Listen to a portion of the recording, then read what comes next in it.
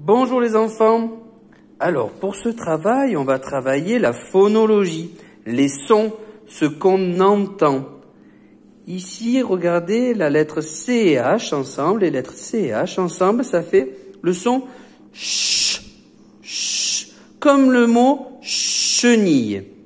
Alors la consigne, c'est de savoir si dans ces étiquettes, on entend le son ch.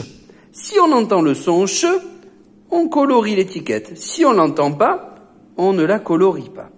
Alors on va regarder ensemble tous les mots.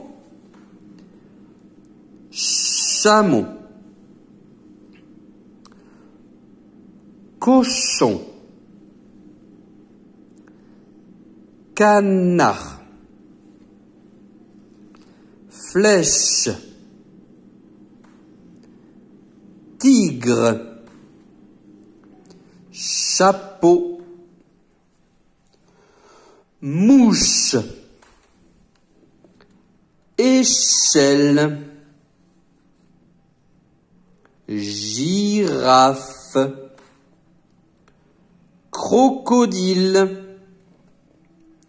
Et chèvre. Aujourd'hui, on va faire cette partie et demain, on fera la fin de la chenille ensemble. Est-ce que j'entends le son ch ch? Si je l'entends, je colorie. Si je ne l'entends pas, je ne colorie pas. Bonne journée